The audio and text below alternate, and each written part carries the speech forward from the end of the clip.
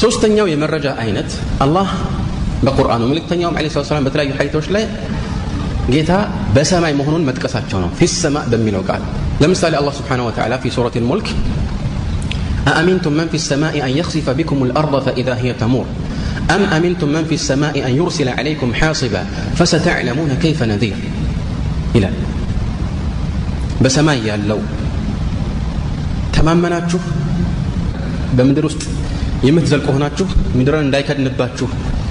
አትሰጉም ወይ? ምን ተማመናችሁ እያለ ነው? ወይም ደግሞ ከሰማይ ጠጠሮች የመቅጫ መሳሪያዎች እንዳይልኩባችሁ አትፈሩም ወይ? ملك ملكتني عليه الصلاة والسلام كما في صحيح مسلم من حديث معاوية بن الحكم السلمي يه معاوية تبالو صحابي ودى رسول الله عليه وعلى آله وسلم متو አንዲት ባሪያውን ጥፋት ያጠፋች ስለመሰለው እንደ መታት ተናገረ። በጥፊ አላት። ለምንድን ነው ትጠብቅ የነበረችውን የበግ መንጋ አንድ ቀበሮ አው ተኩላ መጥቶ ስለበላ ሙሉውን ሳይሆን አንድ በግ ወይም ፍየል ይዞባት ሄደ። ይህንን ከሩቅ ሲከታተል ነበረና መጥቶ በጥፊ ወለወላት ከዚያ በኋላ ተጸጸትና ወደ መልእክተኛው ለ ሰላት ሰላም መጥቶ ምን ላድርግ ብሎ አማከራቸው። እሳቸው መጀመሪያ ጥራት አሉት። ጠራት። ይህቺ ባሪያ ነች። በየትኛውም ፍልስፍና ውስጥ አልተዘፈቀችም? ከንጹህ ተፈጥሯዊ እምነት ውጪ ሌላ ይህንን የሚበክል ውዥንብር አልተቀበለችም። በዚህም የተነሳ መልእክተኛው ለ ሰላት ሰላም አማኝ መሆኗንና አለመሆኗን የሚለዩበትን አንድ የፈተና ጥያቄ ያቀረቡላት ምን አሉ? አለህ ሰላቱ ወሰላም አይን አላህ አላህ የት ነው አሏት። ይህንን ጥያቄ ዛሬ በአንዳንድ አንጃዎች ዘንድ ብታነሳ ወየውልህ። እንዴት? ምክንያቱም አላህ ስብሓን ወተላ በዚህ መልኩ አይጠየቅም።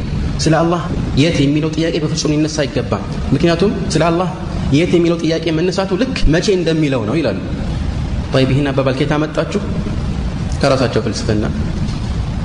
ግን ይህንን ጥያቄ መጠየቅ እንደሚቻል ያስረዳን ማን? ነው መልእክተኛው ለ ሰላት ሰላም ራሳቸው ናቸው። አይን አላህ በዚህ ሰዓት እሷም ፊሰማ አለቻቸው በሰማይ አለቻቸው።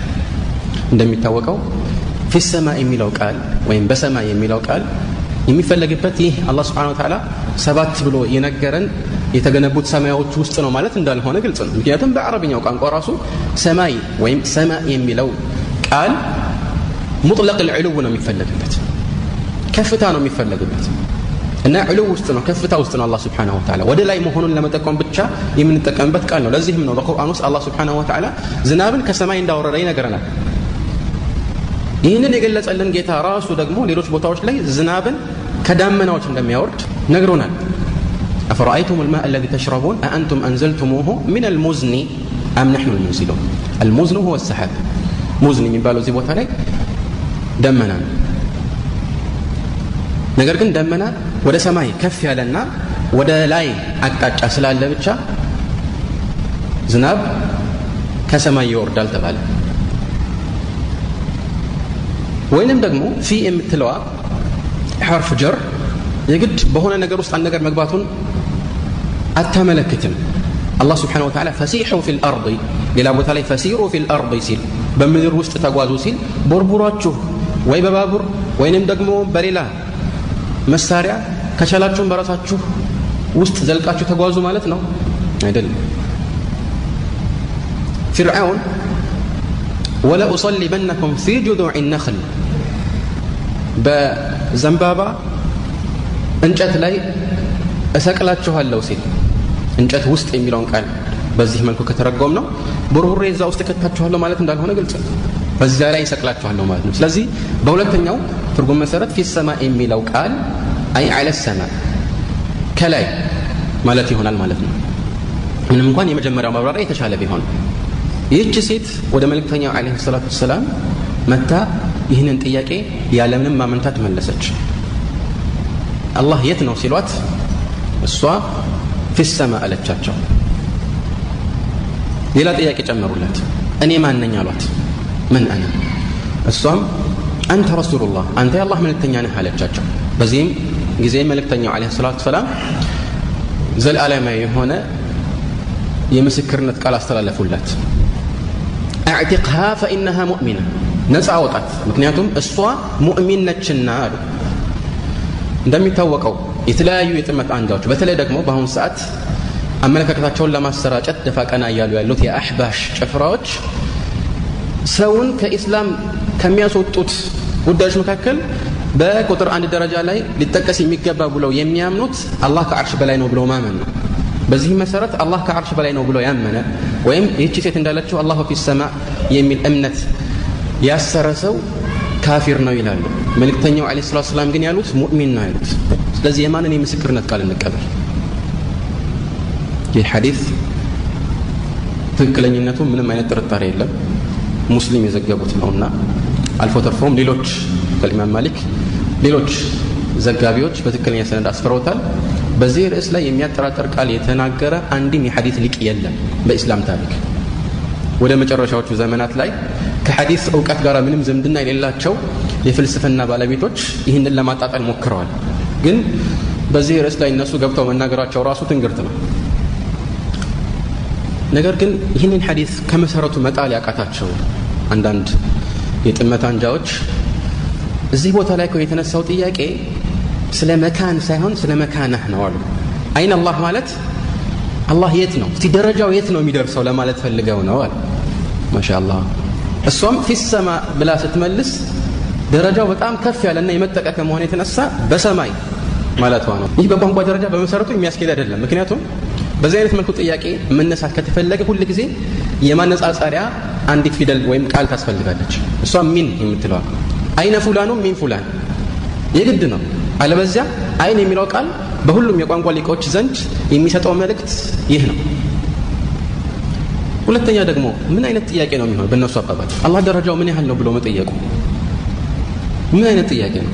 እንዲያው ሙሽሪኮቹ እንኳን እነ አቡ ለሃብ እነ አቡ ጃህል ረሱሉ ስ ስለም ጦር ሰብቀው ሲዋጉ የነበሩት እነዛ አጋሪያን እንኳን አላህ ከሌሎች ጣዖቶቻቸው የሚበልጥ መሆኑ ያረጋግጡ ነበር ወላይን ሰአልተሁም መን ኸለቀ ሰማዋት ወልአርض ለየቁሉን አላህ ሰማያትና ምድር የፈጠረው ማን ነው ብትላቸው አላህ ነው ይለሃል ይህን መሰል አንቀጾች በርካታ ናቸው። ይህን መልእክት ያዘሉ አንቀጾች በተለያዩ ቁርአን አንቀጽ ሱራዎች ላይ ይገኛሉ። ምን አይነት ጥያቄ ነው የሚሆነው? ምን አይነት መልስስ ሊኖር ይችላል ተብሎ ይታሰባል? ሌሎች አሁንም እንደምንም ብለው ትክክለኛውን አቋም ለመጋፋት የሚፍጨረጨሩ ወገኖች ሌላ የመከራከሪያ ነጥብ አነሱ። ምናሉ መልእክተኛው አለ ሰላት ወሰላም እዚህ ቦታ ላይ ያነሱት ሀሳብ እንዲያው ለእሷ አእምሮ የቀረበ እንዲሆን ታስቦ እሷ በተለመደችው ቃል የተገለጸ ነው እንጂ እውነታው ተፈልጎበት አይደለም አሉ። ማለት መልእክተኛው አለ ሰላት ወሰላም አላህ የት ነው ሲሏት ሙሽሪኮች በተለይ በዛን ዘመን ይኖሩ የነበሩት ጣዖት አምላኪያን ናቸውና አላህን በቦታ ስለሚገድቡ እሷ በዚያ ማህበረሰብ ውስጥ የኖረች ስለሆነች በለመደችው አገላለጽ ነው የጠየቋት በዚህም መሰረት አይን አላህ ሲሏት እሳቸው ይህን አምነውበት ሳይሆን በእሷ ግንዛቤ መሰረት ያቀረቡት ጥያቄ ነው እያሉ ገብቷችኋል? ግድ የለም ባይገባቸውም ችግር የለም። ግን ይሄ ውድቅ መሆኑን ማስረዳት የሚያስፈልግ አይመስለኝም። መልእክተኛው አለ ሰላት ወሰላም ሰዎችን በጣዖታውያን ግንዛቤ ነው የሚያናግሩት? ሓሻው ከላ አላህ ስብሓንሁ ወተዓላ እንደዚህ አይነት መልእክተኛን ከመላክ የላቀ ጌታ ነው። ስብሓንሁ ወተዓላ አማ የቁሉ ዛሊሙን ዕሉወን ከቢራ መልእክተኛው አለ ሰላም ሐቅ ተትቶ አያልፉም። ባጥል ተሰርቶም እንደዚሁ አያልፉም። እውነታውን ያስቀምጣሉ። መልእክተኛ ናቸው። ታላቅ ማዕረግ ተረክበዋል። ኃላፊነትንም ይዘዋል። ስለዚህ ይህ አይነት ንግግር መናገር በጣዖታውያን ግንዛቤ ሰዎችን ማናገር ይቅርና ውሸትን ወይም ከዚህ የተለየ ግንዛቤን እንኳን ከእውነታ የራቀን ግንዛቤን እንኳን መልእክተኛው አለ ሰላት ወሰላም ሳያርሙ አያልፉም በመሰረቱ ይህ አገላለጽ በሌሎቹም መረጃዎች ላይ የሰፈረ ነው ፊሰማ የሚለው ማለት ነው ለምሳሌ መልእክተኛው አለ ሰላት ወሰላም كما في الصحيحين البخاري ومسلم بزقبوا الحديث أبو سعيد لم يستغلفوا ألا تأمنوني وأنا أمين من في السماء يأتيني خبر السماء صباحا ومساء بسماء يالله الله سبحانه وتعالى تماي አድርጎ አምኖ ይንሳል ለማለት ነው። እናንተን አታምኑኝም? ትሰጋላችሁ ወይ? ገንዘብ ወይም ምርኮ ሲያከፋፍሉ ነው እንደዚህ ያሉት መልእክተኛው አለ ሰላም። ትሰጋላችሁ? እኔ እውነትን እንደማልፈር አላህ ስብሓነ ወተዓላ ታማኝ አድርጎ አምኖኝ ሳለ ማለት ነው። የሰማይ خبر የአላህ سبحانه وتعالى وحي ጠዋት ማታ እየመጣልኝ።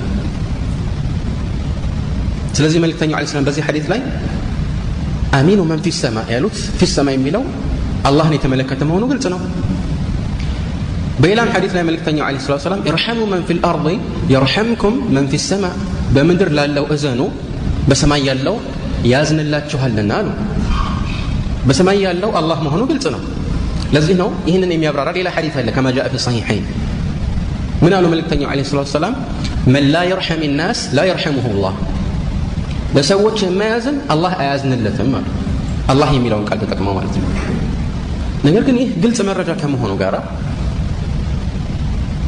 መልእክቱም አላህ ከፍጥረቱ ዓለሙ ውጭ እና የበላይ መሆኑን ከመጠቆሙ ጋር አንዳንድ ሰዎች ይህ ልወልጥላቸው ስላለ የተለያዩ የመከራከሪያ ሀሳቦችን አነሱ።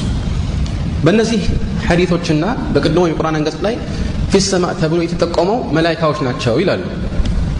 ጠይብ ይህንን ደግሞ ከየት ነው ያመጣችሁት ስንላቸው አንዳንድ ጊዜ የሆነ ቦታ ላይ በሰማይ መላይካዎች እንዳሉ ተጠቁመዋል። ስለዚህ እዚህም ቦታ ላይ የሚፈለገው እነሱን መጠቆም ነው ይለዋል። ለዚህ አንድ መልስ መስጠት በቂ ከመሆኑ ጋር የተወሰኑ መልሶችን እንስጥ። የፈለገውን አንድ ሰው መርጦ መውሰድ ይችላል ማለት ነው። ከፈለገ ሁሉንም ከፈለገ የተወሰነ። አንደኛ ሱረቱል ሙልክ ላይ ያለው አንቀጽ ላይ ፊ ሰማ አሚንቱ መን ፊ ሰማ የሚለውን አብዱላህ ብኑ ዓባስ አብራርቶታል። ወሁ ተርጁማን ቁርአን። በዚህ ርዕስ ላይ እሱ የተናገረውን ንግግር በተወሰነ መልኩ በኋላ ለመጥቀስ እንሞክራለን። ግን ይህንን አንቀጽ ሲያብራራ ምን ይላል? أأمنتم عذاب من في السماء إن عصيتموه በሰማይ ያለው ቅጣቱን ትተማመናላችሁ እናንተ? የእሱን ትእዛዝ ከጣሳችሁ ይላል የአላህን ትእዛዝ አላለም። ቀጥታ ማዕናው ግልጽ ስለሆነ የእሱን ትእዛዝ ከጣሳችሁ ይላል። የማንን ትእዛዝ ነው ሰዎች ከጣሱ? የአላህ ቅጣት ለእነሱ ተገቢ የሚሆነው? እንዲታዘዙት ግዴታ የሚሆነው ማንን ነው? አላህን ነው ወይስ መላይካዎች አንድ መልስ ነው። ሁለተኛ ይህ የቁርአን አንቀጽ በሌላ ቦታ ላይ ተብራርቷል። የቁርአን መልእክት ይበልጥ ሊብራራበት የሚችለው የቁርአን አንቀጽ ራሱ ነው። በዚህ መሰረት የሱረት ልእስራ አላህ ስብሓንሁ ወተዓላ ያሰፈረውን ነገር እናስተውል የተፈለገው ምን እንደሆነ ግልጽ እንዲሆንልን መለስ ብለን የቁርአኑን አገባብ እንመልከት من الله سبحانه وتعالى ربكم الذي يزجي لكم الفلك في البحر لتبتغوا من فضله إنه كان بكم رحيما وإذا مسكم الضر في البحر ضل من تدعون إلا إياه فلما نجاكم إلى البر أعرضتم وكان الإنسان كفورا كذبوا المليون تستولوا أفأمنتم أن يخسف بكم جانب البر أو يرسل عليكم حاصبا እዚህ ቦታ ላይ የተፈለገበት ማለት መላይካዎች ናቸው ሆን ብዬ ነው እኔ መለስ ብዬ ነበርኩት ረቡኩም ለዚ ዩስጂ ለኩም ልፉልክ ከዛም በኋላ ወኢዛ መስተኩም ضሩ ፊ ልባሕሪ ضለ መን ተድዑና ኢላ እያ ከዛ ውስጥ አፈአሚንቱም አን የክሲፈ ቢኩም ጃኒበ ልበር ፊ ሰማ ምናምን አልተባለም በሚሮ እዚህ ቦታ ላይ ገልጽ ነው ማን እንደሆነ ፋዒሉ አን የክሲፈ ቢኩም ከኋላ የተጠቀሰው ነው እሱም ጌታችን ነው አላህ ስብሓንሁ ወተዓላ ምድርን ልክ በሱረቱ ልሙልክ ላይ ባለው አንቀጽ ተርቲብና አገባብ መሰረት ምድርን እንዳይገለብጥባችሁ። እንደዚሁም ከላይም የቅጣት ድንጋዮችን እንዳይወረውርባችሁ አትሰጉም እንዴ ይላል። እዚህ ቦታ ላይ የተፈለገው መልእክት ወደ አላህ እንደሚጠቁም ግልጽ ነው። ስለዚህ ሱረቱል ሙልክ ላይ የሚፈለገውም ይህ ነው ማለት ነው። ሶስተኛ መልስ አላህ ስብሓንሁ ወተዓላ በየትኛውም የቁርአን አንቀጽ ላይ ፍጡራንን እንድንፈራ የሚገፋፉ ንግግሮችን ተናግሮ አያውቅም። የእኔ ባሮች እንደዚህ እንዳያደርጓችሁ አትሰጉም ወይ? አይለም ሁሌም ቢሆን እሱን እንድንፈራ ነው የሚገፋፋ። የእሱን ባሮች መገለጫም ሲጠቁም ወላ የክሸውነ አሐደን ኢላ ላህ ከአላህ በቀር አንድንም አይፈሩም ነው የሚለው። ስለዚህ ቦታ ላይ መላይካዎችን እየጠቀሰ እነሱ ቅጣቱ እንዳይልኩባችሁ አትሰጉም ወይ ይላል ተብሎ ይታሰባል? በፍጹም። አራተኛ በሁሉም የቁርአን አንቀጾችና በረሱል ስ ሰለም አስተምህሮቶች ላይ መላይካዎች ተላኪ ናቸው እንጂ ላኪ አይደሉም። አላህ ስብሓንሁ ወተዓላ ቅጣትን በፈለገው መልኩ ይልካል። ከሰማይ ድንጋይ ሊያወርድ ይችላል ወይንም ደግሞ መላይካዎችን ይልካቸዋል ሰዎችን እንዲቀጡ እንጂ እነሱ አይደሉም ቅጣት የሚልኩት። እዚህ ቦታ ላይ ግን እዚህ ላይ የተፈለገው መልእክት መላይካዎች የሚለው ነው ከተባለ እነሱ ቅጣት የሚልኩ ሊሆኑ ነው ማለት ነው። ይህ ደግሞ ያልተለመደ አገላለጽ ነው። ስንተኛው መልስ ነው? አራተኛ አምስተኛ አላህ ስብሓን ታላ እዚህ ቦታ ላይ የጠቀሰው ሙፍረት ነው። ብዙ ቁጥር አይደለም። አሚንቱም መን ፊ ሰማ አን ቢኩም ያለ ወይስ አን ቢኩም? አን ቢኩም።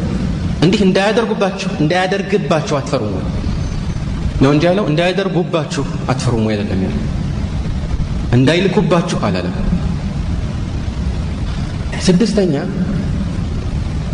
በዚህ አንቀጽ ላይ ያለው መልእክት ግልጽ ከመሆኑ ባሻገር በሌሎችም ቦታዎች ላይ የእነሱን ግንዛቤ ውድቅ የሚያደርጉ ይህን መሰል አገላለጾች አግኝተናል።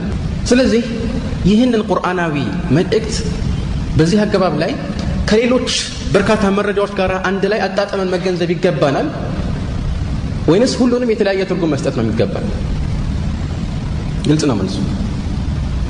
ይህንና ይህን የመሳሰሉ በርካታ መልሶችን መዘርዘር እንችላለን። ለአንድ ሹብሃ ማለት ነው ስለዚህ በዚህ መረጃ መሰረት አላህ ስብሓን ወተዓላ ፊ ሰማእ ነው። በሰማይ በሰማይ ሲባል ቋንቋዊ ትርጉም ነው እንጂ የሚፈለገው ፊ ልዕልዊ ማለት ነው። ከሰማያት በላይ የሰማያት መጨረሻው አርሽ ነው። ከዚያ በላይ ነው አላህ ስብሓን ወተዓላ ይህ ፊ ሰማይ የሚለው ቃል የተጠቀሰባቸው መረጃዎች በአይነት ስንተኞቹ ናቸው? ሶስተኞቹ። ስንተኞቹ ናቸው? ሶስተኞቹ